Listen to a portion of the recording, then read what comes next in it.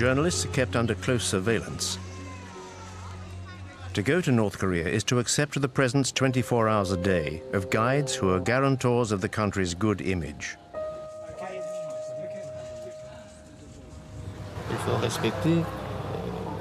The law must be respected.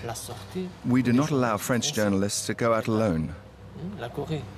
Our country, North Korea, does not like the French. Why? Because they took part in anti-North Korean operations. There never were any French operations against North Korea. But in Pyongyang's eyes, every foreigner is a potential enemy who has to be closely watched. It's the sworn duty of each guide to chaperone the visitor and regurgitate the regime's propaganda. Even these official North Korean guides may not be filmed.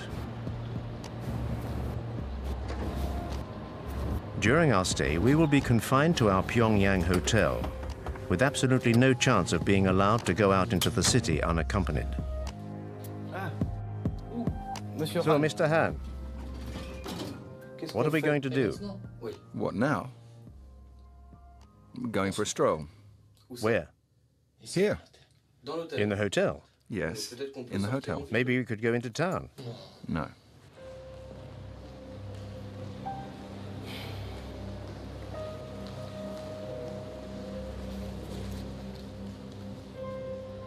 Having spent several hours wandering around the hotel lobby, we finally get authorization to go out. Any trip is pre-programmed and serves the objectives of the propaganda machine. The house where the founder of the nation was born reminds foreigners of President Kim Il-sung's heroic deeds and helps to affirm the family's legend. Uh, when she was 14 years old, the president left his native home, Mangyongdae, firmly determined not to return before Korea became independent. Since then, the president led the 20-year-long arduous anti-Japanese armed struggle to a shining victory and finally liberated our country.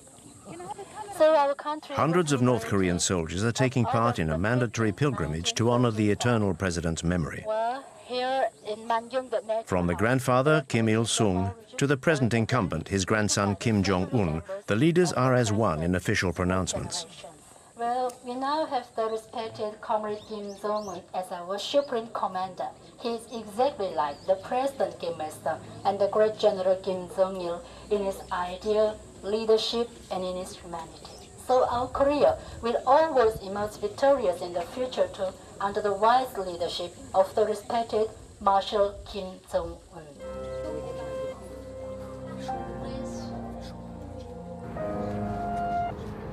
We've been given authorization to visit Pyongyang to film the capital's latest infrastructures.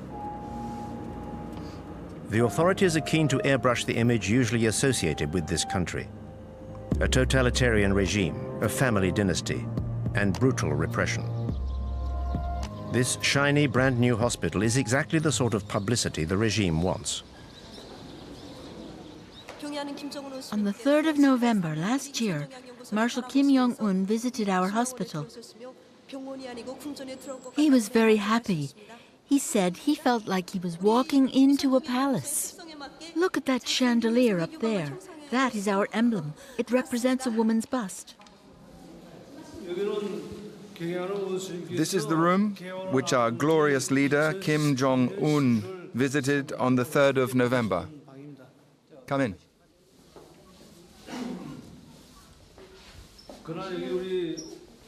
This is the bed the Marshal sat on when he came here.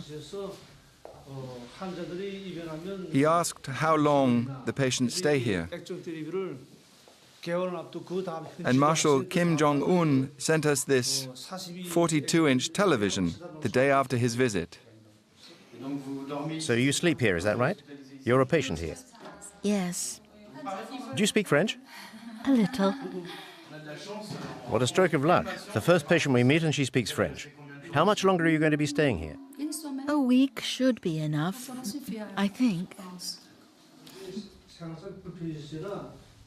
Wearing her hospital clothes, this patient is giving the performance of her life in this well-directed play.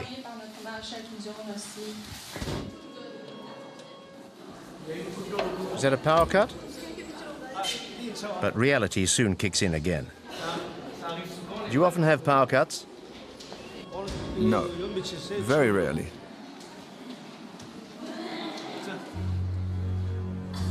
The hospital's employees do their best to remain unmoved by such events. Nothing can tarnish the image of the country and those who run it.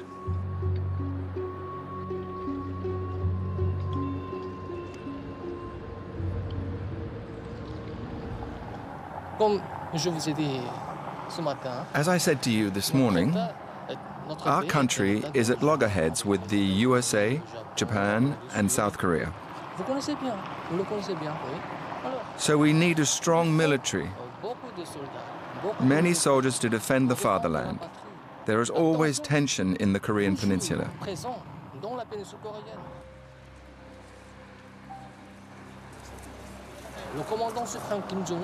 And Commander Kim Jong un is very young.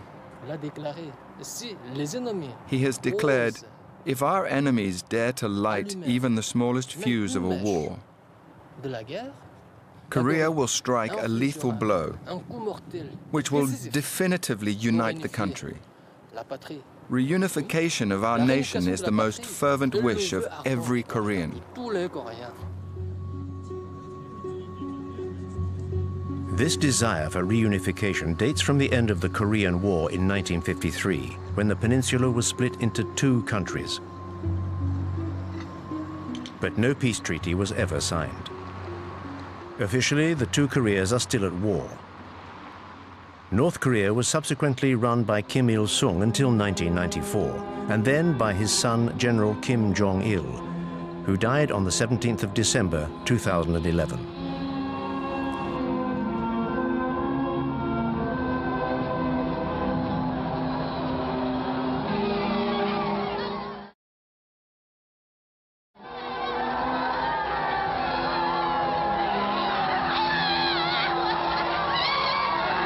Kim Jong-un, son of the late Kim Jong-il, has been in power for three years.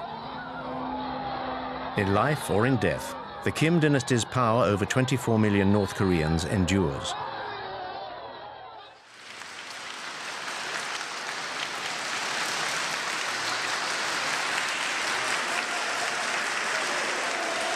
The Kim family is the first communist dynasty in history. The new incumbent was presented to the people as a natural successor. Barely 30 years old, Kim Jong-un was quickly awarded the titles of Supreme Commander and then Marshal, and set about consolidating his power. Kim Jong-un's accession to power gave birth to a new hope in the hearts of the North Korean people.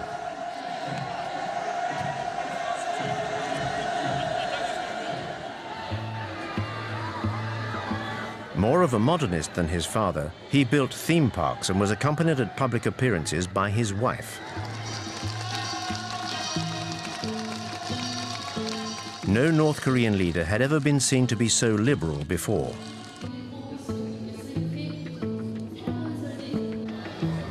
Kim Jong-un cultivated his image right down to his posture, which was designed to be reminiscent of his grandfather's. Propaganda has now established him as the third strongman of the North Korean nation. The leader is the country's brain and the people are its body. Our guide is here to remind us of this. Marshal Kim Jong-un is exactly like General Kim Jong-il in his human virtues, his political leadership, and his philosophy. Therefore, everybody euh, respects and idolizes him. The guide's rhetoric is always the same. Under Kim Jong-un, devotion to the leaders remains almost religious.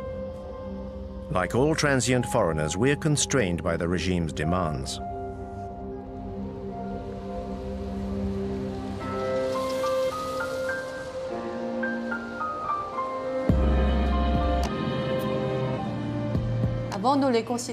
Before, we thought of them as leaders or heads of state. Now we think of them as our family's fathers, be it children or old people, be it men or women. The entire Korean nation considers them to be our fathers. In his three years of absolute power, Marshal Kim Jong-un, like his father and grandfather before him, has become part of the intimate fabric of Korean families. This retired scientist and her granddaughter are typical of this devotion to the regime. What are your feelings towards the Marshal? Like everyone else, I feel that Marshal Kim Jong-un is the embodiment of our destiny. He is our future and a father to us all. You foreigners could never understand how much we venerate our marshal. The whole Korean population places its future and destiny in his hands. It is thanks to Marshal Kim Jong-un that I am wealthy and can live like this. In fact, maybe you know the song which speaks of the rise of our young nation and tells how our country will be built by the people under the guidance of Comrade Kim Jong un. Thanks to him, our future will be brilliant and socialism will triumph.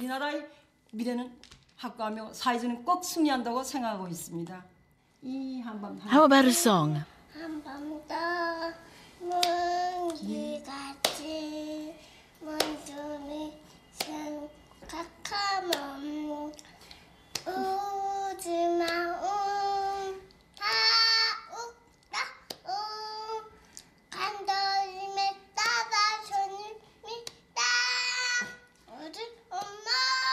우리 행복 눈인게 달려 있기에 아침 저녁 손은 하나 원수님의 안녕입니다. You see, even little children miss the marshal, so they salute him in their songs. Your granddaughter who just sang, she's two years old. What kind of future do you want for her? What kind of country will she live in? I feel sure that she will live in a strong and prosperous country that will incarnate the might of Mount Paektu. That she will live in a world where she will have no cause to envy others.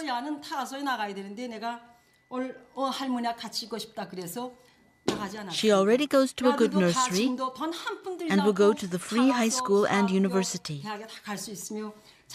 We hope she's going to be a scientist like her grandfather. We would like her to contribute to our nation's developments in science and technology under the guidance of Marshal Kim Jong-un.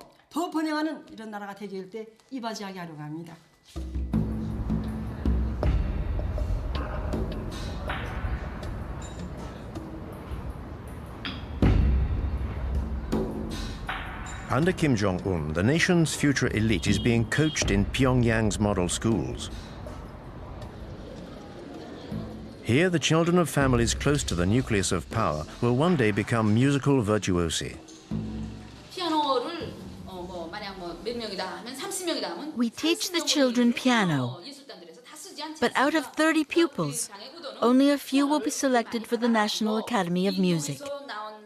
Some will become pianists, and others will just become composers or singers.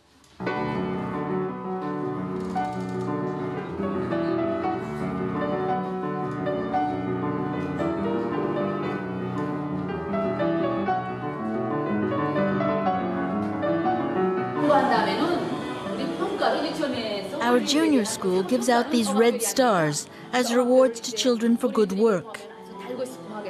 And when they see these stars, it also makes them want to join the army.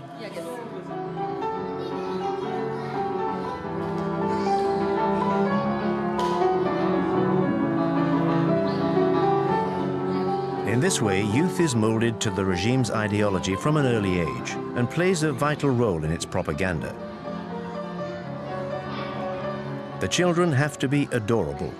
They're cosseted and well-fed. These are the regime's privileged few, the keepers of its eternal future.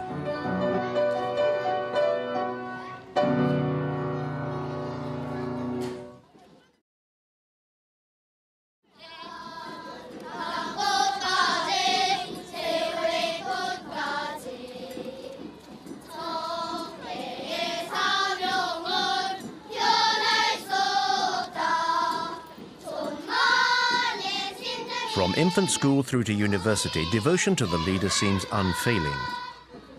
But all the parades, songs and smiles hide another reality. The images that we filmed in North Korea give no insight into how this enigmatic country really works. Only North Korean refugees who have fled their homeland can genuinely shed light on the country's everyday life. What your footage shows is children who are all at the same level. The ones who lead the parades on the streets of Pyongyang are psychologically groomed throughout their time at school, and usually they have access to better facilities, owing to their parents' position, because it's a privilege to lead parades like this through the streets of the capital.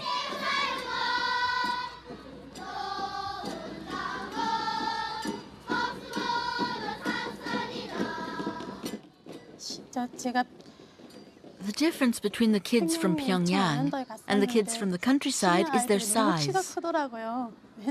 The children from the capital are much bigger than the country kids of the same age. This is due to lack of protein in their diet.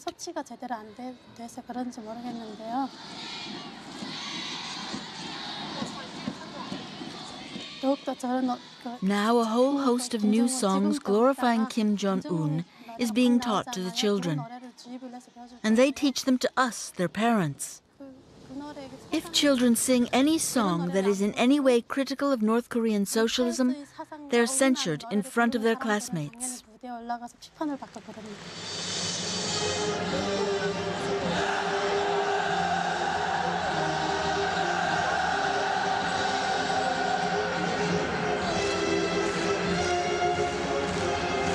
This indoctrination of youth is an absolute priority.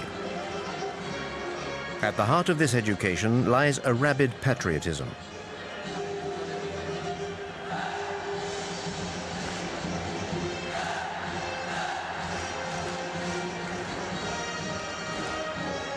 These children are the future of North Korea and have to be ready to defend their nation.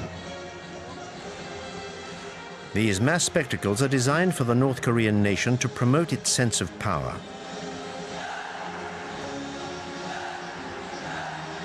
These 20,000 young participants are all members of families fiercely loyal to the regime.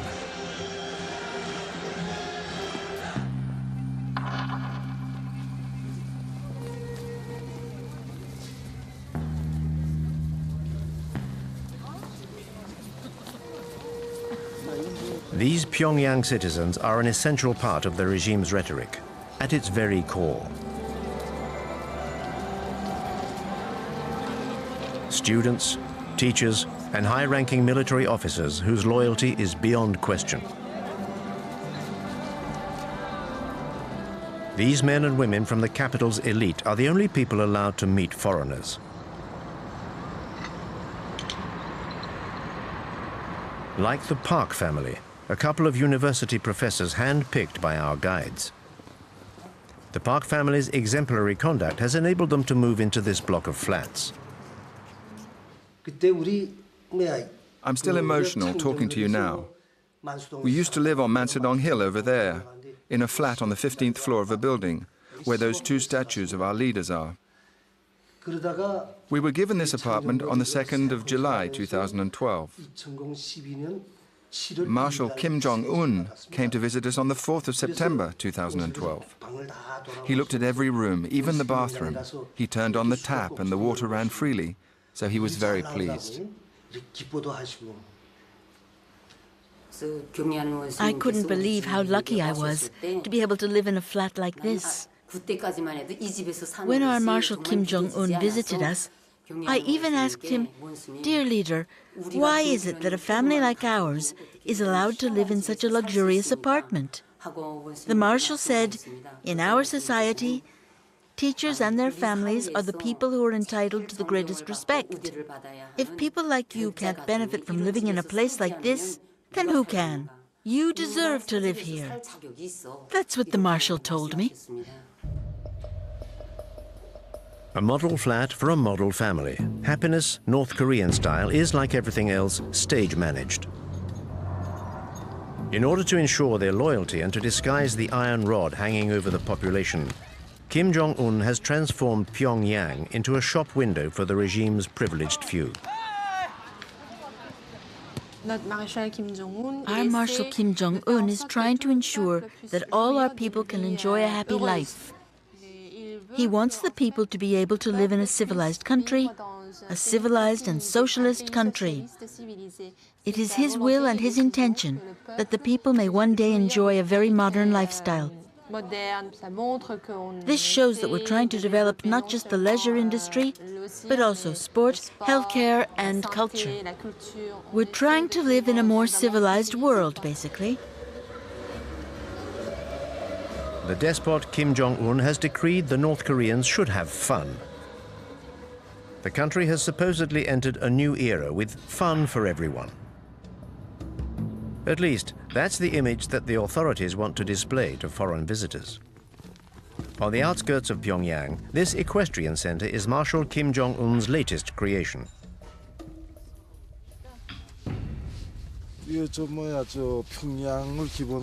This equestrian center is for the benefit of everybody workers, employees, old people, and even small children.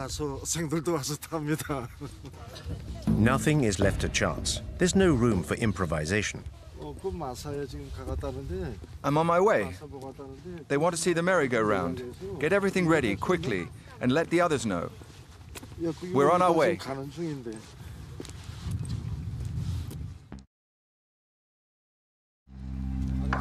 The horse symbolizes North Korea's power. If you believe what the North Koreans say, the Kim family comes from a long line of horsemen. The legend surrounding the supreme leader continues. Between 1990 and today, Marshal Kim Jong-un got on a horse 300 times, advised and coached by General Kim Jong-il. He worked very hard at it. In order to become a great horseman, he studied and read many books which enabled him to master every aspect of horse riding. That's why he's such an expert now. The myth surrounding Kim Jong-un borders on the grotesque. Indoctrination seeps into every aspect of life. Our presence here serves to export this ultra-propaganda across the country's borders.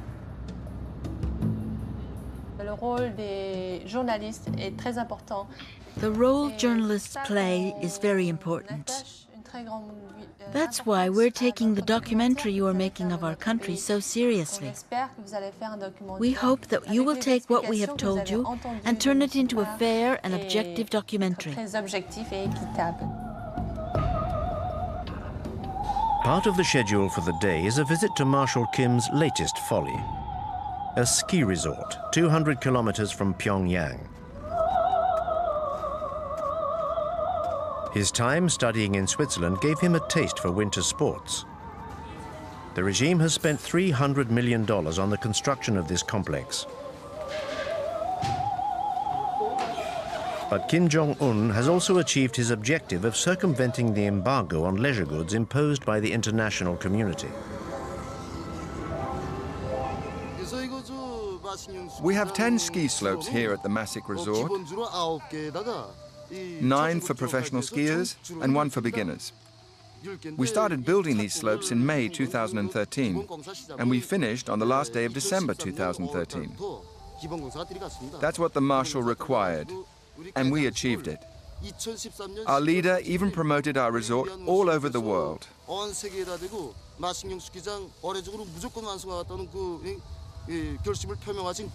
Skiing is part of our country's culture, and so Kim Jong-un wanted this resort built to develop our civilization.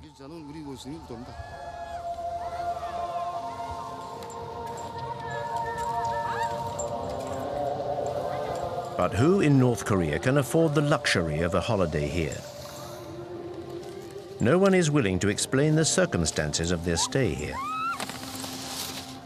The resort was designed with the people in mind, and the prices too have been set with the people in mind. In Marshal Kim Jong-un's socialist country, money remains a taboo subject. Only 5,000 North Koreans are estimated to have the means to use this resort.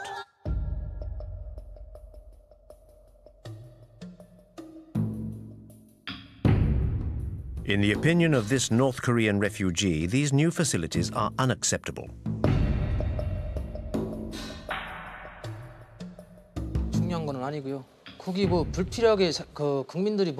It's all so ridiculous. People are starving to death, and these facilities are only for rich people from Pyongyang and no good to anyone else. The reality is that people in North Korea are suffering.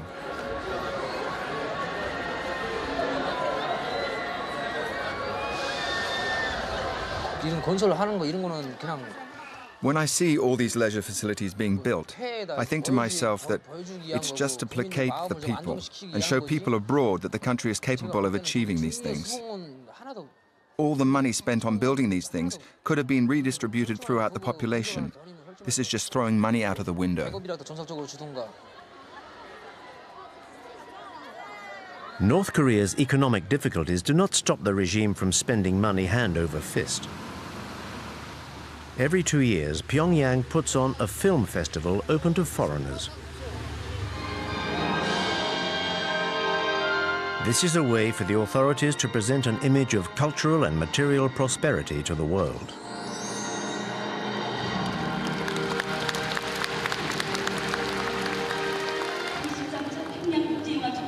We declare the 13th Pyongyang International Film Festival open. The films and cartoons shown all follow the party line, of course. This amenability towards the world outside North Korea is limited and tributes to the leader are never far away. This event is all the more important because it only takes place thanks to the interest and the love that Marshal Kim Jong-un has for the cinema. You're about to watch films which are completely innovative in both form and content. North Korean cinema has a central role in the propaganda machine. It educates even before it entertains.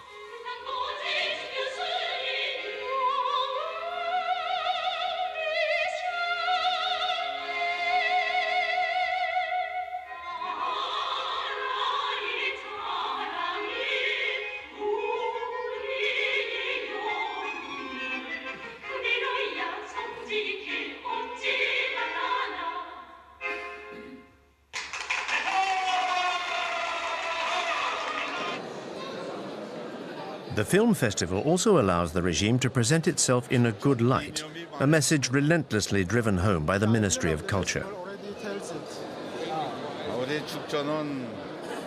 We want independence, friendship, and peace between peoples.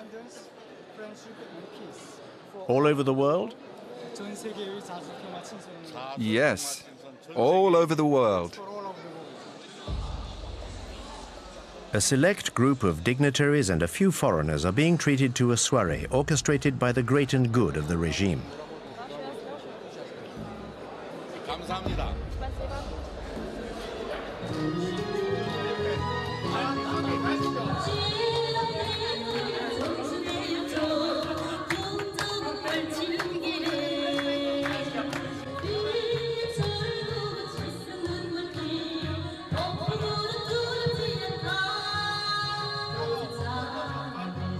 Behind this facade of a smiling, prosperous North Korea, the regime maintains control over every citizen's life.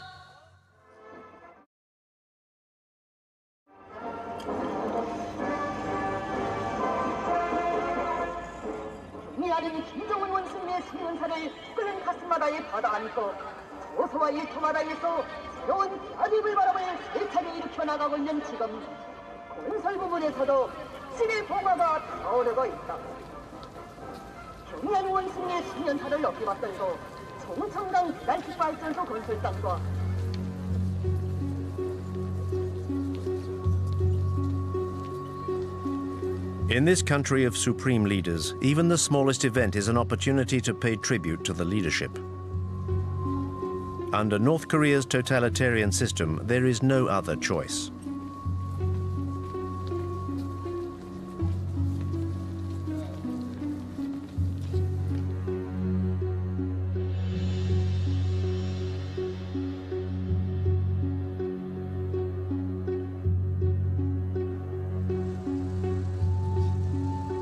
Commemorate the 60th anniversary of the end of the Korean War, the population of Pyongyang is requisitioned to pay tribute to its army. General Kim Jong il said, To safeguard our country, one can live without candy, but one cannot live without bullets. Our guide's words are directly influenced by the Songun doctrine, devised by the former leader Kim Jong il, which gives the army the dominant role in building North Korea's socialism.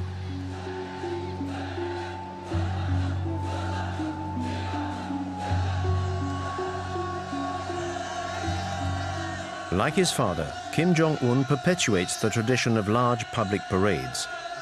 In this way, he sets the scene for his own power and that of North Korea.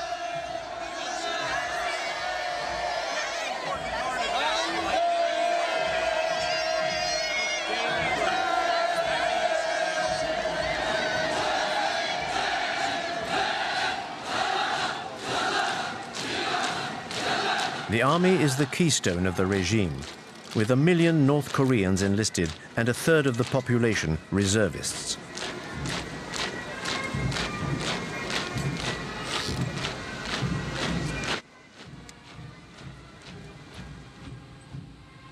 북한의 열병식은 독특한 대열 방식입니다.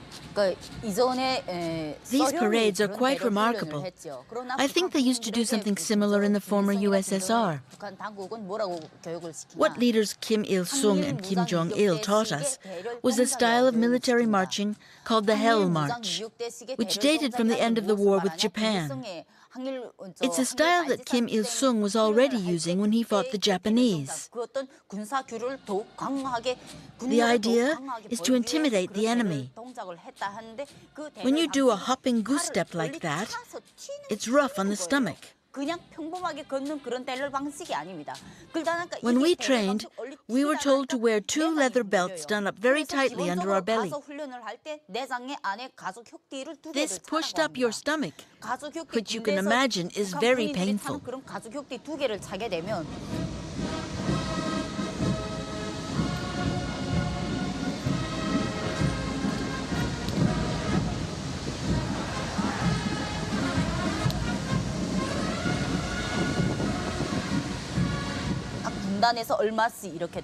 I took part in training for these parades while I was a student at military college. But a few days before the parade, I contracted paralysis in my legs because of the hopping. So I was unable to take part and had to go back to college. The training is extremely hard. It felt like being a prisoner in a labor camp. And in North Korea, not to be able to take part in the parades is very shameful.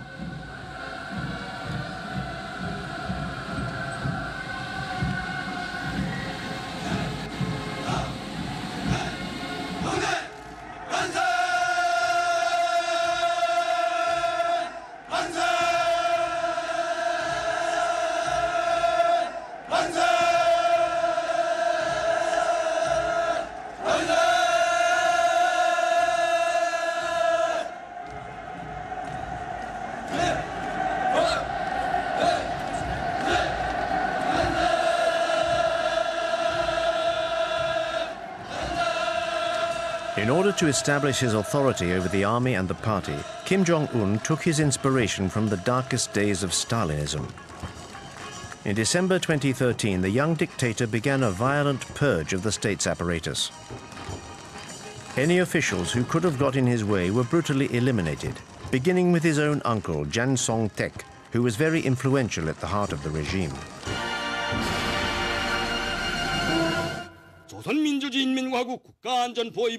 The Special Military Tribunal of the Ministry of State Security of the Republic of Korea has found the accused, Jang Song-taek, guilty of acts of subversion against the state.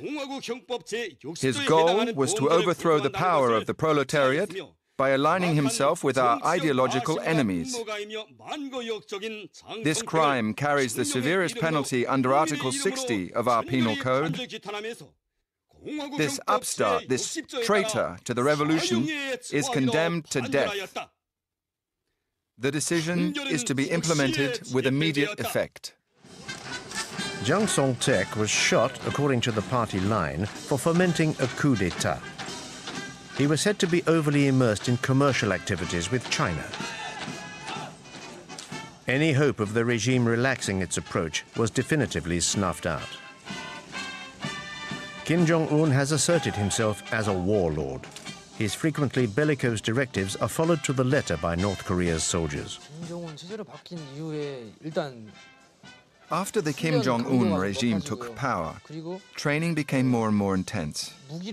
He was determined to crush South Korea by force. He was very insistent on the weapons we had to use and ordered us to use all our ammunition on every training drill. I remember the directives changing when he took over.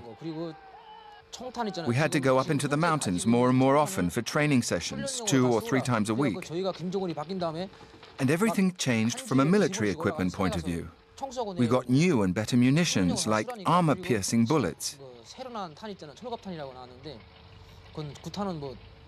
I think Kim Jong-un wants to prove to Koreans that he is capable of preparing the country for a war against South Korea.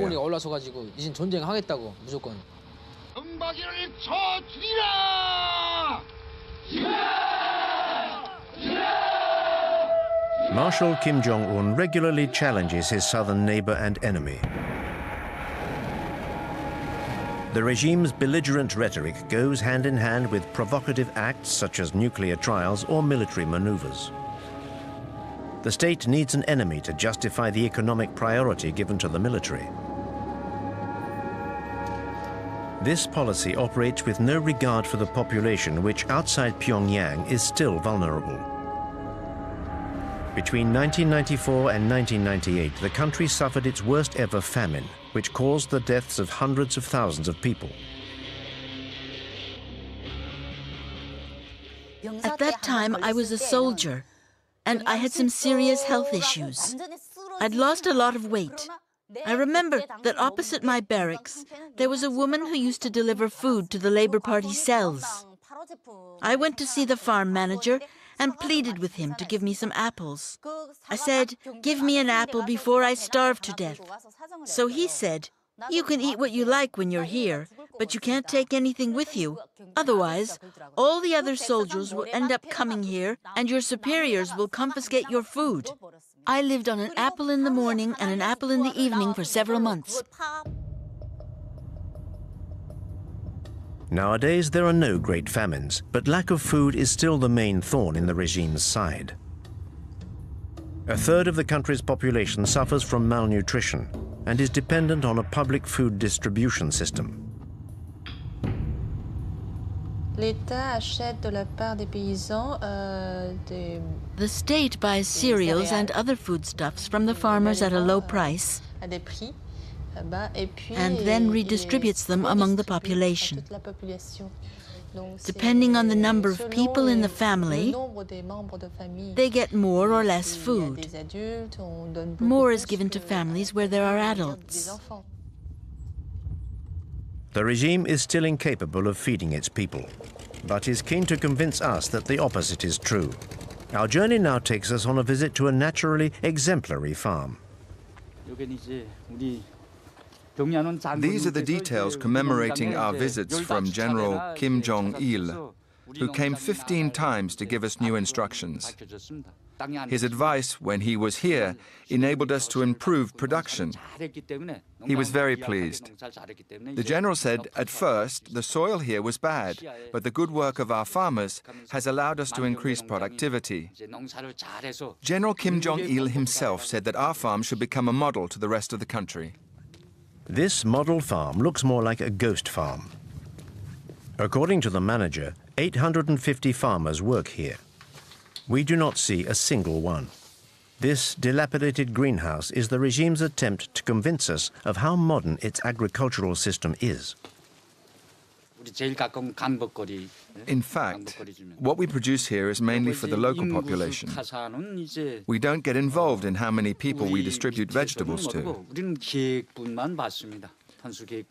There is an organization above us that calculates this and then gives us production targets for the year.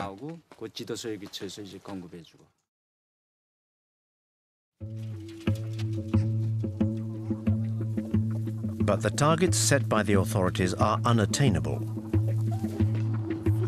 In order to help the farmers, the regime takes its inspiration from the Maoist model and sends the army into the fields. As soon as our training is over, we go into the country to work with the farmers. We usually help with pricking out rice or planting corn. Every regiment is billeted to a farm near its barracks. The commanding officer might say, This barracks, you go to this farm or whatever. After the corn harvest at the end of October or beginning of November, we return to barracks to start our winter training. In March 2012, Kim Jong un introduced a reform which allowed farmers to keep half of what they grew. But a lack of fertilizer and farm tools prevents the country from being self sufficient, and this fundamental principle remains out of reach.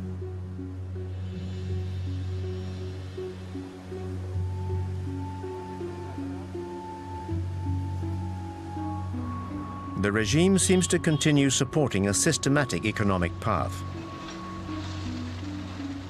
But today it no longer has any choice but to tolerate private commercial ventures.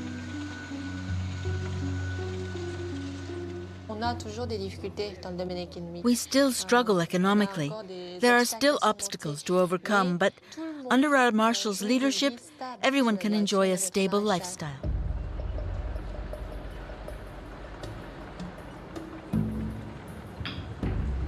The regime has succeeded in maintaining this stability by cutting off its population from the outside world. Only a handful of North Koreans managed to get around this isolation via the black market. There are smugglers who regularly cross the Tumen River on the Chinese border and bring back contraband. I went into business with a bunch of friends, and I remember everyone copying and burning South Korean DVDs brought in from China, and then selling them in the markets. In North Korea, buying DVDs like this is expressly forbidden and goes against the regime and the law. It is actually dangerous to even own them. But there are fewer controls in the evening, so people get together around 10 or 11 and stay up until dawn watching recordings of popular TV series. I remember a very popular South Korean series which showed a casino in a capitalist country. You saw money changing hands, which we'd never seen before. Because all you see on North Korean television is documentaries about Kim Il sung and Kim Jong il. And it's still the same today. But in those South Korean series, I saw apartments and wardrobes full of clothes and shoes. The North Korean regime keeps on telling us that South Koreans are very poor. But the people in those series were really fashionably dressed, and I loved it.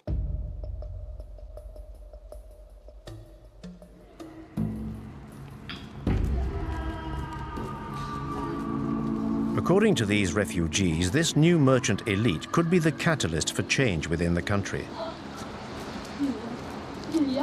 This may explain why control over the population has increased since Kim Jong-un's accession to power. North Koreans have absolutely no chance of leaving the country legitimately. So despite the risk, many try clandestinely to cross the border into China.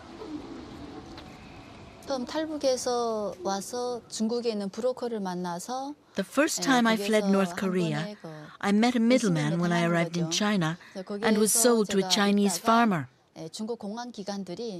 When you're on Chinese soil, you're considered an illegal immigrant and not a refugee.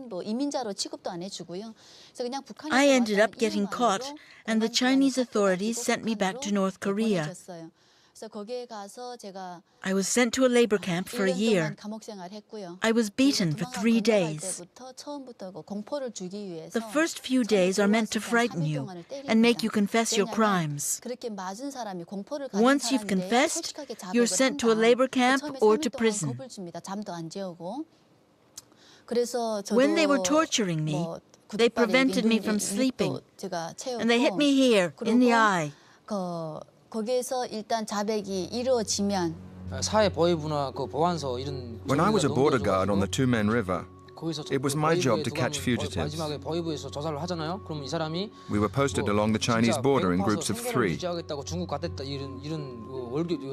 When we caught a fugitive, we took them to our guard post, where we recorded the time and date at which we'd captured them. Then the fugitive was interrogated by our boss and transferred to the Department of Security. If the prisoner was starving, we could be lenient. Otherwise, they were sent straight to prison or the labor camp. All I did was hand them over to my superiors. We were rewarded for each fugitive we caught.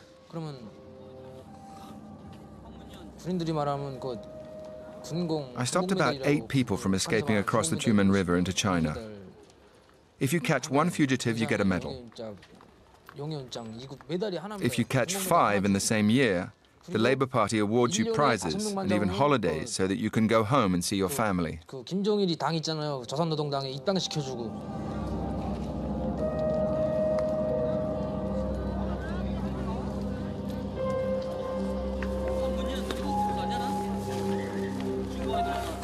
살아갈 길이 너무도 막연했어요. 그리고 이미 저는 Once I left prison, I wondered how I was going to carry on living with no identity. 뭐 국가 반역자로 이미 I was considered a traitor to the nation, so I had no future in North Korea. I tried to flee a second time. I had obtained contact details for a people trafficker while I was in prison. Thanks to him, I managed to cross the Tumen River between China and North Korea. With the fake passport he made me, I got on a boat to South Korea the following day.